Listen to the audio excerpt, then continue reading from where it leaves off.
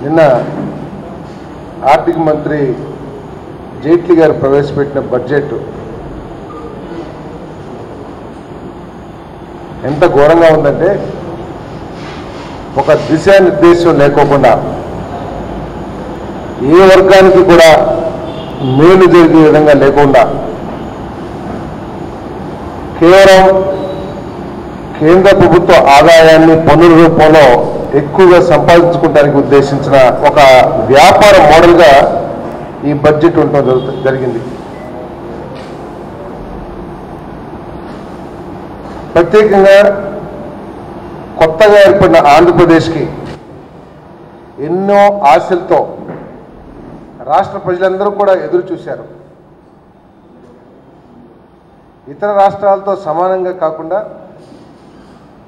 మా రాష్ట్రానికి ప్రత్యేకంగా ఏమిస్తారా అని చెప్పేసి అందరూ కూడా టీవీకి అతుక్కుని పోయి చూశారు. వాళ్ళందరికీ కూడా ఎండమావిలాగానే ఉంది తప్పితే ఎక్కడా కూడా ఈ రాష్ట్రానికి మేలు జరిగేది మాత్రం ఎక్కడా కనపడలా. కానీ దురదృష్టం ఏంటంటే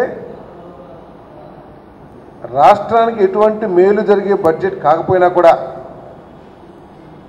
తెలుగుదేశం పార్టీ నాయకులు కార్యకర్తలు స్వీట్లు పంచుకుని టపాకాయలు పాల్గొట్టడం కాల్స్తాం అంటే ఎంత దౌర్భాగ్యానికి ఈ రాష్ట్ర రాజకీయం పడిపోయిందో ఒకసారి ఆలోచన చేయాల్సిన అవసరం ఉందని చెప్పేసి నేను భావిస్తా ఉన్నాను నేను.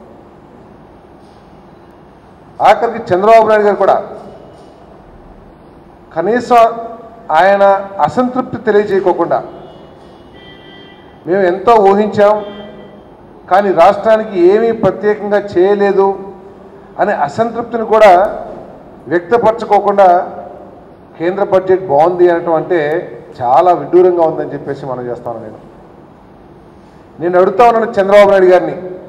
అయ్యా చంద్రబాబు నాయుడు గారు ఐదు కోట్ల మంది ఆంధ్రులకు కనబడిన బ్రహ్మ పదార్థం మీకు ఏ విధంగా కనపడింది ఎట్లా కనపడింది ఒక్కసారి రాష్ట్ర ప్రజలకి చెప్పమని చెప్పేసి అడుగుతా ఉన్నా నేను. చంద్రబాబు నాయుడు గారు బ్రహ్మ పదార్థాన్ని ప్రజలందరూ కూడా బ్రహ్మ పదార్థంగా చూపించి చెవిలో పువ్వు పెడతానికి ప్రయత్నం చేస్తారని చెప్పేసి మాత్రం చెప్పగలను నేను. ఒక్కటంటే ఒక్కటైనా సరే ఈ రాష్ట్రానికి ఫలానా కార్యక్రమం మూలంగా బడ్జెట్లో ఫలానా ప్రకటన మూలంగా మేలు జరుగుతుందని చెప్పేసి ధైర్యం తెలుగుదేశం నాయకులకి ఎవరికైనా ఉందా అని చెప్పేసి అడుగుతా ఉన్నాను నేను. లక్షల కోట్లు కావాలి రాజధాని నిర్మాణానికి అని చెప్పి చెప్పుకుంటూ వస్తున్న చంద్రబాబు నాయుడు గారు ఈరోజు ఏం చెప్తారో సమాధానం చెప్పాలి. ఇంకా మిగిలింది నాకు తెలిసి పూర్తి బడ్జెట్ ఒకటే ఒకటి కేంద్ర బడ్జెట్. ఈ బడ్జెట్లో మొత్తం ఇన్ఫ్రాస్ట్రక్చర్కి కేటాయించిందే మూడున్నర లక్షల కోట్ల రూపాయలు. దేశం మొత్తానికి ఏ విధంగా మీరు లక్షల కోట్లు కానీ కనీసం వేల కోట్లు సాధించి రాజధాని అభివృద్ధి చేస్తారో సమాధానం చెప్పాల్సిన అవసరం ఉందని చెప్పేసి మనం చేస్తామని నేను. వాళ్ళైతే మూడున్నర లక్షల కోట్లు కేటాయించారు కానీ గత సంవత్సరం కంప్యూటర్లో ఎవరైనా చూసుకోవచ్చు మీరు. డిసెంబర్ ముప్పై ఒకటి రెండు వేల పదహారుకి ఖర్చు పెట్టిన వాస్తవ లెక్కలు ఏమిటంటే కేవలం లక్ష తొమ్మిది వేల కోట్లు మాత్రమే ఖర్చు పెట్టగలిగింది కేంద్ర ప్రభుత్వం. అది అంతకుముందు సంవత్సరం కంటే కూడా దాదాపు ఐదారు శాతం తక్కువ. దాదాపు పది శాతం ఐదారు శాతం తక్కువ. ఇది అంతకుముందు సంవత్సరం కంటే కూడా. అటువంటి పరిస్థితుల్లో ఈ మూడున్నర లక్షల కోట్లో మీరు ఎంత సాధించి ఈ రాష్ట్ర రాజధాని నిర్మాణానికి ఈ తెలుగువారి రాజధాని ప్రజా రాజధాని తీసుకొస్తారో స్పష్టం చేయాల్సిన అవసరం ఉందని చెప్పేసి మనం చేస్తా ఉన్నా నేను. చాలా బ్రహ్మాండంగా చెప్తా ఉన్నారు తెలుగుదేశం నాయకులు బీజేపీ నాయకులు కూడా. మేము మా గడ్కరీ గారు వచ్చి ఒకటే రోజు అరవై వేల కోట్ల రూపాయలు నేషనల్ హైవేస్కి కేటాయించారు. అంతకంటే ఏం చేస్తామని చెప్పేసి. ఈరోజు మొత్తం నేషనల్ హైవేస్కి కేటాయించింది అరవై నాలుగు వేల కోట్ల రూపాయలు. దీంట్లో మన వాటా ఎంత? మీరు చెప్పిన అరవై వేల కోట్లు పూర్తి చేయడానికి రెండు వేల పంతొమ్మిది వరకు సమయం సరిపోతుందా? లేకపోతే దీంట్లో కూడా చెవులో పువ్వు పెట్టడానికి సిద్ధపడ్డారా చంద్రబాబు నాయుడు గారు అని చెప్పేసి అడుగుతా ఉన్నాను నేను. రోజు చెప్తా ఉన్నారు సింగపూరు లేకపోతే జపాను లేకపోతే ఇటలీ లేకపోతే ఫ్రాన్స్ అన్ని డిజైన్లు కూడా వర్కౌట్ చేస్తున్నారు. ఏది? రాజధాని నిర్మాణానికి. దానికి రైల్వే కనెక్షన్ కూడా ఇప్పిస్తానని చెప్పేసి చెప్తున్నారు. బెంగళూరుతో కానివ్వండి తిరుపతితో కానివ్వండి హైదరాబాద్తో కానివ్వండి అన్ని ప్రధాన నగరాలకు కూడా రైల్వే కనెక్షన్ ఏర్పాటు చేస్తామన్నారు. నేను అడుగుతా ఉన్నాను నేను. సౌత్ సెంట్రల్ రైల్వేకి కేవలం ఐదు వేల మూడు వందల కోట్ల రూపాయలు కేటాయించారు. దీంట్లో ఎన్ని వేల కోట్ల రూపాయలు తీసుకొచ్చి కొత్తగా ఏర్పడుతున్న రాజధానికి మీరు రైల్వే లైన్లు ఏర్పాటు చేస్తారో ఒకసారి స్పష్టం చేయమని చెప్పేసి అడుగుతా ఉన్నాం. మొత్తం పోర్ట్లకి హైవేస్కి రైల్వేస్కి ఎంత కలిపి కేవలం రెండు పాయింట్ నాలుగు అంటే రెండు లక్షల నలభై వేల కోట్ల రూపాయలు కేటాయించారు. ఎంత సాధిస్తారు? మీరు జిల్లాకు ఒక ఎయిర్పోర్ట్ అంటున్నారు. సముద్రం ఎక్కడ కనపడితే అక్కడ పోర్ట్ అంటున్నారు. దుగ్గిరాజపట్నం చెప్పిన పోర్ట్ ఏమైందో తెలియదు వీటికి ఏమైనా కేటాయింపులు జరిగినాయా? చంద్రబాబు నాయుడు గారు అని చెప్పేసి అడుగుతా ఉన్నాను నేను. ఎక్కడా కూడా రాష్ట్ర అభివృద్ధికి సంబంధించి ఒక్కటి కూడా చేయకపోవటం అయినా కూడా అసంతృప్తి వ్యక్తపరిచే పరిస్థితుల్లో లేకపోవటం తెలుగుదేశం పార్టీ కానీ తెలుగుదేశం నాయకత్వం కానీ లేకపోవటం దౌర్భాగ్యం అని చెప్పేసి నేను మనం చేస్తా ఉన్నా నేను. చెప్తా ఉన్నారు ప్రత్యేక హోదాలో ఉన్నాయి అన్నీ కూడా మేము సాధిస్తామని చెప్పేసి. అన్యాయంగా విభజించబడ్డ ఆంధ్రప్రదేశ్ రాష్ట్రంలో ఆర్థిక ఇబ్బందులు ఎదుర్కొంటున్న ఆంధ్రప్రదేశ్ రాష్ట్రాన్ని గట్టెక్కించడానికి ఏ విధంగా మీరు ఈ రాష్ట్రంలో ఇతర రాష్ట్రాలతో పోలిస్తే మెరుగైన రాయితీలు ఇప్పించడానికి ప్రయత్నం చేశారో ఒకసారి స్పష్టం చేయాల్సిన అవసరం ఉందని చెప్పేసి మనం చేస్తా ఉన్నాను ఇతర రాష్ట్రాల్లో లేని విధంగా ఏవైనా ఆంధ్రప్రదేశ్లో పెట్టుబడి పెడితే మేము ఫలానా రాయితీలు ఇస్తామని చెప్పేసి కనీసం ఒక్క మాటైనా సరే చెప్పించగలిగారా? చంద్రబాబు నాయుడు గారు అని చెప్పేసి అడుగుతామన్నా నేను. కేంద్ర ప్రభుత్వ బడ్జెట్లోనే లేదు. మనం గనక చూసినట్లయితే ఇండస్ట్రియల్ ప్రొడక్షన్ మోడీ గారు వచ్చిన తర్వాత రెండు వేల పద్నాలుగుతో పోలిస్తే దాదాపు రెండు పాయింట్ల కిందకే ఉంది index of industrial production. So అటువంటి నెగిటివ్ మార్గంలో నడుస్తున్న పారిశ్రామిక అభివృద్ధిని ఏ విధంగా మెరుగుపరిచి ప్రత్యేకంగా ఆంధ్రప్రదేశ్లో ప్రత్యేక స్థానం కల్పిస్తారో పరిశ్రమలు స్థాపించడానికి అనువైన వాతావరణాన్ని కల్పిస్తారో ఒక్కసారి చెప్పమని చెప్పేసి చంద్రబాబు నాయుడు గారిని అడుగుతా ఉన్నాం. పరిశ్రమలు స్థాపించకపోతే మీరు చెప్పిన పది లక్షల కోట్ల ఉద్యోగాలు సంతోషం. ప్రకటనలో మాత్రం బ్రహ్మాండంగా చెప్తున్నారు. ఏంటి పది లక్షల ఉద్యోగాలు ఎన్నో ఇస్తాన్నారు ఇఫ్ ఐఎమ్ నాట్ రాంగ్ ఇంతకుముందు ఆల్రెడీ రెండు లక్షల ఉద్యోగాలు ఇచ్చేసామన్నారు. కానీ లేబర్ బ్యూరో చెప్పిన లెక్కలు రెండు వేల పదిహేనులో మొత్తం దేశం మీద కేంద్ర ప్రభుత్వం ద్వారా కేవలం లక్ష ఇరవై ఐదు వేల ఉద్యోగాలు మాత్రమే వచ్చినాయి అంటున్నారు. కానీ ఇక్కడ మాత్రం ఎనిమిది లక్షలు లక్షల లక్షల ఉద్యోగాలు చెప్తా ఉన్నారు. సో ఇటువంటి అంబిగ్విటీని ప్రజల యువత భవిష్యత్తుని ఎందుకు పణంగా పెడుతున్నారు చంద్రబాబు నాయుడు గారు అని చెప్పేసి అడుగుతా ఉన్నాం. మీ ఎంపీలు కానీ మీరు కానీ ఎందుకు మీ అసంతృప్తిని వ్యక్తపడుతున్నా ప్రత్యేక హోదా గురించి ప్రస్తావన లేదు.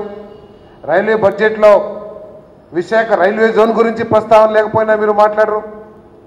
ఇంకా అనేక ప్రాజెక్టులు స్టీల్ ప్లాంట్ కానివ్వండి దుగ్గరాజపట్నం పోర్టు కానివ్వండి ఇవన్నీ లేకోకుండా ఉన్నా కూడా మీరెందుకు నోరు మూసుకుని ఇంకా పైగా బ్రహ్మాండంగా ఉందని చెప్పేసి భ్రమను కల్పించడానికి ప్రయత్నం చేస్తారు చంద్రబాబు నాయుడు గారు అని చెప్పేసి అడుగుతా ఉన్నాం.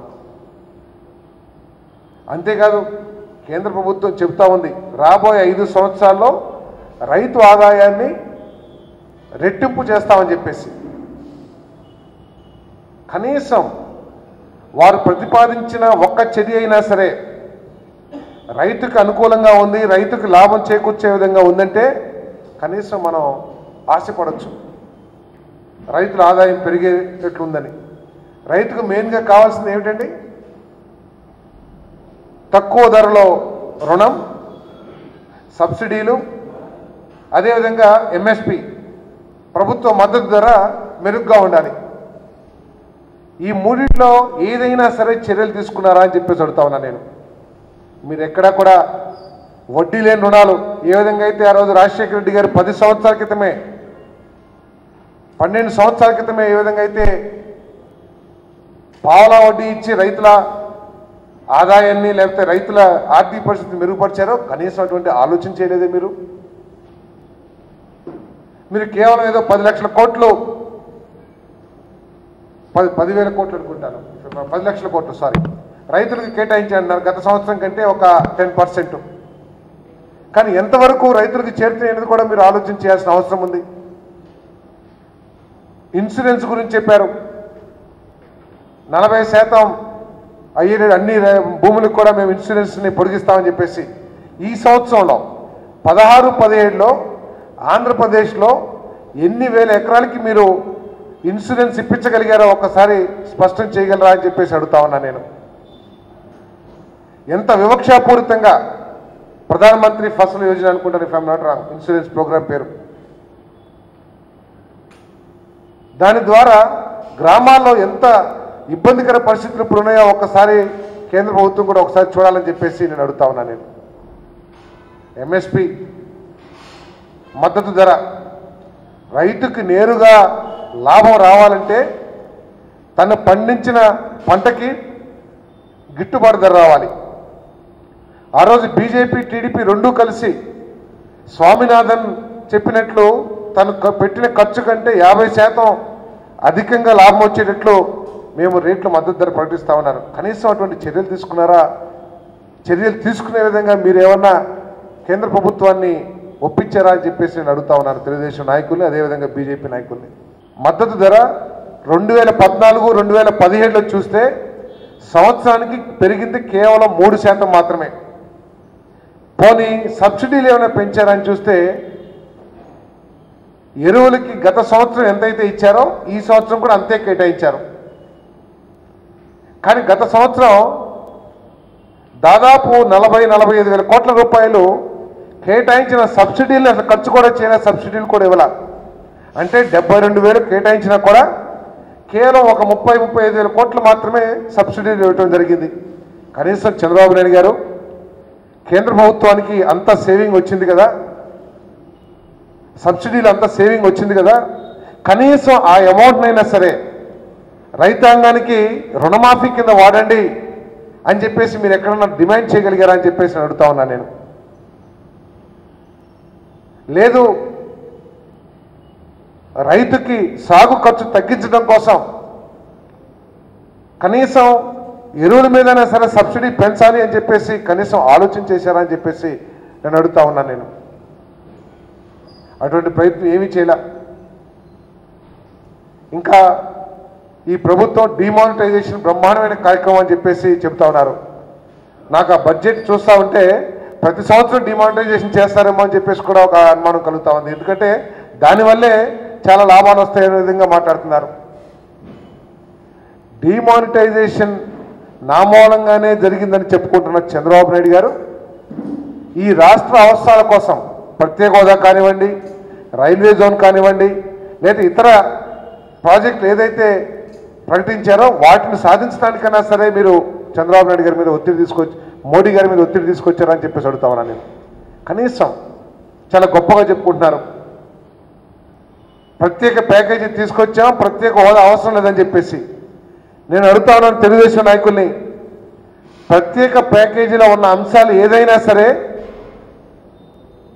ఈ బడ్జెట్లో బడ్జెట్ స్పీచ్లో జైట్లీ గారు ఏమన్నా మాట్లాడారా అని చెప్పేసి అడుగుతా ఉన్నాను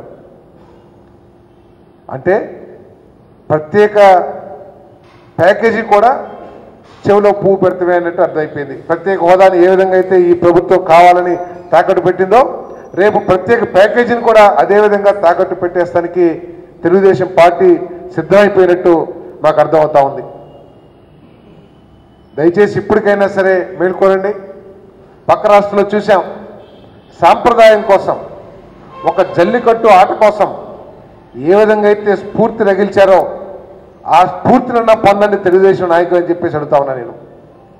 ఈ రాష్ట్రంలో ప్రజల్ని రాజకీయ పక్షాలని ప్రజాసంఘాల్ని కలుపుకొని కేంద్ర ప్రభుత్వం మీద ఒత్తిడి తీసుకొచ్చి బడ్జెట్లో మార్పులు చేర్పులు చేపించడానికైనా సరే మన ప్రత్యేక హోదా సాధించడానికి అదేవిధంగా రాజధాని నిర్మాణానికి కావాల్సిన నిధుల కోసం కానివ్వండి స్పెషల్ ప్యాకేజీ కాకుండా ప్రత్యేక హోదాని సాధించడానికి ప్రయత్నం చేస్తానికి ఇంకా మన విభజన చట్టంలో ఏదైతే ఉందో అది సాధించడానికి ప్రయత్నం చేయమని చెప్పేసి అడుగుతా ఉన్నాం. ఒక్కటే ఒకే ఒక్క విషయం కోసం నిన్న టపాకాయలు సీట్లు పంచుకున్నారు. ఏమిటండి అది? Capital gains. ఇప్పటికే ఇన్కమ్ ట్యాక్స్లో మున్సిపాలిటీకి ఎనిమిది కిలోమీటర్ల దూరంలో ఉన్న చిన్న చిన్న గ్రామాల్లో అగ్రికల్చర్ భూములు అమ్మితే దానికి క్యాపిటల్ గెయిన్స్ లేదని చెప్పేసి ఆడిటర్స్ అందరూ కూడా చెప్తా ఉన్నారు. ఆ భూములు మీరు తీసుకుని దానికి ఇప్పుడు ట్యాక్స్ ఒకటి అంటగట్టి ఆ ట్యాక్స్ లేదని మీరేదో ప్రకటింపజేస్తే అది ధర్మం అని చెప్పేసి అడుగుతా ఉన్నా నేను. వాళ్ళకి మేలు జరిగితే మేము ఆహ్వానిస్తాం. రైతాంగానికి మేలు జరిగితే మేము తప్పకుండా ఆహ్వానిస్తాం. కానీ ఏదో చిన్న దాన్ని చూపించి దానివల్ల ఎంత మేలు జరుగుద్ది అనేది రేపు తెలుస్తుంది. గ్రామాల్లో చిన్న చిన్న గ్రామాల్లో ఉన్న వ్యవసాయ భూములకి క్యాపిటల్ అగ్రికల్చర్ భూములకి క్యాపిటల్ ట్యాక్స్ లేదు. కానీ ఈరోజు ఏదో క్యాపిటల్ ట్యాక్స్ నుంచి ఎగ్జామ్షన్ ఇచ్చినట్టు మాట్లాడుతూ ఉన్నారు. ఉద్యోగస్తులు కూడా ఈరోజు తృప్తిగా లేరు. ఎందుకంటే కనీసం ట్యాక్స్ బెనిఫిట్స్ కూడా వాళ్ళు ఇవ్వలేకపోయారు. సో ఇవన్నిటి కూడా ఈ బడ్జెట్ పూర్తిగా ఎడారిలో ఎండమావిలాగా ఉండి ఎవరికి కూడా మేలు చేకూర్చకుండా ఎటువంటి దిశానిర్దేశం లేకోకుండా ఉండటం చాలా శోచనీయం. ఇప్పటికైనా సరే పునరాలోచించి ప్రత్యేకంగా ఈ రాష్ట్రాన్ని చూసి దానికి మేలు చేయాలని చెప్పేసి డిమాండ్ చేస్తా ఉన్నాం.